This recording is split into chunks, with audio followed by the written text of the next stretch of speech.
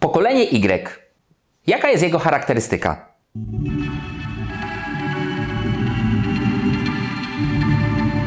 Dzisiaj na arenie życia mamy kilka pokoleń. Najstarsze to tak zwani traditionals.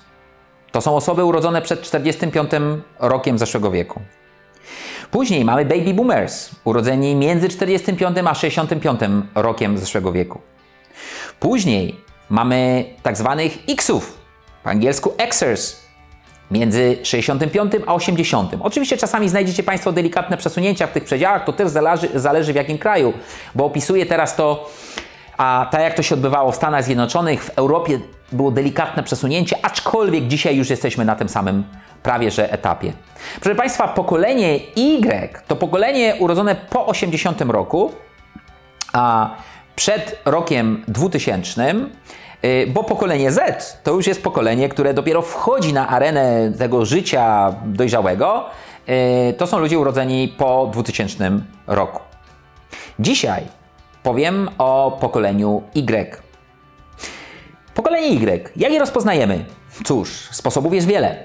Najczęściej poprzez to, że kiedy zadamy takiemu człowiekowi pytanie, yy, czy wiesz, że kiedyś nie było internetu, odpowie pytając, a przez ile minut? Mimo, że jest to humorystyczne, faktycznie pokolenie Y to jest pokolenie, które urodziło się już wtedy, kiedy już były telefony komórkowe. A więc nie wyobraża sobie życia bez telefonu komórkowego. Dzisiaj już wiemy, że w wielu domach nie ma w ogóle stacjonarnych, bo ich sens zaczyna powolutku znikać. Pokolenie Y to jest pokolenie, które nie wie o tym, że, i tu powiem o takiej smutnej rzeczy, że świat istniał kiedyś bez choroby AIDS. Pokolenie Y to pokolenie wychowywane przez pokolenie X i przez baby boomers, czyli tych wcześniejszych. Pokolenie X to pokolenie, które nie ma wiary w nic oprócz jednej rzeczy. Oprócz tego, że trzeba się zabezpieczać, trzeba dbać o kasę, trzeba się na niej skupić, bo nikt o ciebie nie zadba. To jest pokolenie, które przeżyło wiele rozczarowań oraz obserwowało rozczarowania ich rodziców, tych, że zostali na lodzie po latach ciężkiej pracy, poświęcenia na przykład dla firm, w których byli. Ekonomia rzuciła ich rodziców oraz ich samych w trudne sytuacje. Więc pokolenie X wychowywało pokolenie Y pod tak, zwanym, zwanym kloszem. W związku z tym dzisiaj człowiek, który ma 25 lat, 30, 30 parę, to jest człowiek, który generalnie nie zna pojęcia biedy, który nie zna pojęcia, że czegoś zasadniczo brakuje, podstawowych jakichś yy, yy, produktów czy, czy tego, co człowiekowi jest potrzebne. Pokolenie Y to takie pokolenie, które jak idzie na zakupy, to nie kupuje 2 kilo czegoś i wkłada do zamrażalnika, tylko kupuje plasterki, bo mówi, no przecież nie będę odkładał jedzenia na później, czy robił zapasów, bo po co? Kiedy jego rodzice z przyzwyczajenia jeszcze kupują więcej na wszelki wypadek, bo kiedyś brakowało. Pokolenie Y to pokolenie bardzo niecierpliwe. To jest pokolenie, które nie potrafi skupić się na długim procesie. Dlatego pokolenie Y to takie, które nie potrafi zarządzać projektem, które nie odnajduje się w projekcie jako lider, jako osoba, która rozumie jego ciąg i w sposób konsekwentny będzie szła po rozpisce, powiem kolokwialnie, tego projektu. Pokolenie Y to pokolenie, które kiedy przyjmie się do pracy, w pierwszym dniu pójdzie do prezesa. Dawniej, 30 lat temu, widziało się prezesa po dwóch latach a w czwartym roku można było z nim rozmawiać. A dzisiaj ono, jak to mówię w cudzysłowie, kopie w drzwi prezesa, wchodzi i mówi, dlaczego wy macie to tak zorganizowane? Albo pyta, a jak to robicie, panie prezesie? Y to ludzie, którzy oczywiście żyją Facebookiem. Ich komunikacja jest skrótowa. Nie lubią więcej niż 140 znaków w jednym mailu czy w jednym SMS-ie czy w jakiejś informacji przesyłanej przez Facebook, przez inne nośniki. Uwaga, co jest bardzo ciekawe, pokolenie Y to jest pokolenie, no właśnie, pytanie, czy ono się zna na komputerach, na programach komputerowych? I to jest bardzo ciekawe. Odpowiedź brzmi nie, już nie. Taki program Excel. To jest program, na którym Xy znają się zdecydowanie bardziej. Xy, które po prostu biorą temat w swoje ręce, muszą, muszą przepracować, chcą się sami nauczyć, chcą być niezależni. Y to jest taki zestaw sympatyczny ludzi i ludzi sympatycznych, że oni czegoś nie wiedzą. No tak, ale w ciągu dwóch, trzech minut znajdą. Jak nie znajdą w Google'ach, to na Facebooku znajomy im podpowie. To ludzie, którzy bardzo dbają albo chcą dbać o balans, równowagę między życiem zawodowym i osobistym. To, co jest dzisiaj szczególne, od, szczególnie odkrywane przez właścicieli firm, tych ludzi z pokoleń X i Baby Boomer, jest to, że pokolenia Y nie można zmotywować zasadniczo rzecz biorąc pieniędzmi. Bardzo często od Y słyszysz, ja zarabiam swoje 4,5 tysiąca, to mi wystarcza. Ja wolę pójść się pobawić, wolę pobiegać, popływać, idę do sauny, idę do solarium. Y, nie mówię tutaj w związku z tym, że pokolenie Y jest takim pokoleniem w stosunku do mężczyzn, powiedziałbym, zniewieściałem. To nie o to chodzi. Po prostu dla nich życie codzienne, radość życia jest bardzo ważna. Co jest istotne dla pokolenia Y? Istotny jest rozwój. Oni chcą się rozwijać.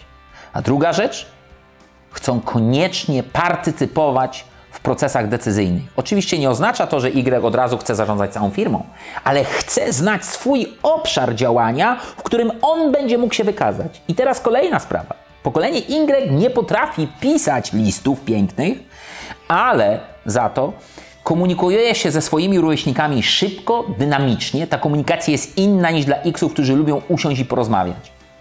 Ale Y ma też to do siebie, że rozumie, że praca zespołowa to wymiana informacji, to otwartość, to nie banie się tego, że popełnię błędy, błąd. I tutaj jest taki, takie zderzenie z ludźmi z pokolenia X, z osobami zarządzającymi. Pokolenie Y nie lubi hierarchii, nie akceptuje hierarchii. Pokolenie Y chce myśleć niezależnie. Dlatego dzisiaj te tarcia pomiędzy osobami zarządzającymi z pokoleń starszych a Y są spore. Ale co jest ciekawe, w Stanach Zjednoczonych już około 10 lat temu starsze pokolenie baby boomersów, ludzi urodzonych przed 65 rokiem zeszłego wieku, dzisiaj zarządzające, nie dogaduje się z takim bardzo merkantylnym i nastawionym na pieniądz. Yy, charakterystyczne dla pokolenia X właśnie jest nastawienie na pieniądz i wyścig szczurów. Nie dogaduje się z tym pokoleniem, a dogaduje się bardzo dobrze z Y, ponieważ tam system wartości zaczyna być coraz bardziej zbliżony. O ile X nie ufa, Y potrafi zaufać, pod warunkiem, że pozwalasz mu działać, pozwalasz mu żyć, pozwalasz mu oddychać. I to, co jest charakterystyczne, jeżeli chcesz pracować z Y, dbaj o jego system wartości, doceń go, to dla niego jest ważne. On tego nie zdusi. Nie narzucaj. Rozmawiaj, motywuj, wyjaśniaj dlaczego.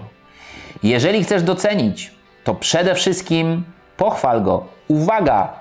Y potrzebuje po krótkim odcinku pochwały, żeby wszedł w następny krótki odcinek. Nie spodziewaj się tego, że on będzie przez 3 miesiące pracował, bo on wie o tym, że na końcu czeka nagroda.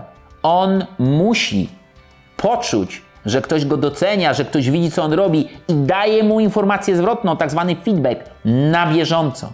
To jest trudne dla na przykład mojego pokolenia, starszego pokolenia. No ale cóż mamy zrobić? Już za 7 lat 75% wszystkich osób na rynku pracy to będzie pokolenie Y.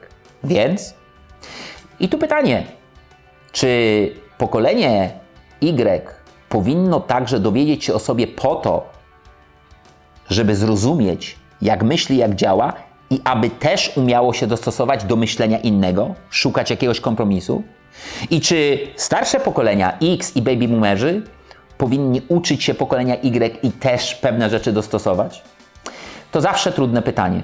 Myślę, że kiedy będziemy szukać odpowiedzi, najpierw musimy znać charakterystykę. Mam nadzieję, że dzisiaj Y już jest bliższy, jeżeli chodzi o tą charakterystykę Państwu, jeżeli nie mieliście okazji się z tym zapoznać. Uwaga!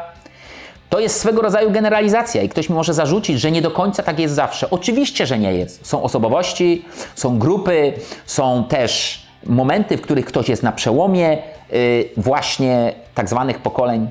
Jednocześnie Nie możemy patrzeć na biznes przez pryzmat psychologii. To duży błąd, często robiony przez ludzi, którzy opierają się na psychologii, ale przez pryzmat socjologii. Bo w biznesie mamy podejmować decyzje na bazie rachunku prawdopodobieństwa. A tu już się pojawiają tendencje. I właśnie o tym dzisiaj opowiadamy. Opowiedzcie także innym o tym. Dzielcie się, bo świeca, od której odpalana jest następna, nic nie traci. Na ekranie widzicie teraz adres, gdzie zdobędziecie dodatkowe informacje na temat pokolenia Y.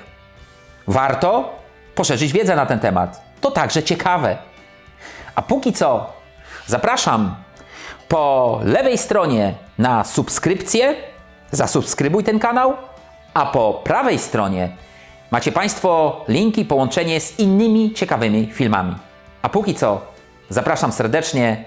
Krzysztof Sarnecki, Quest Change Managers.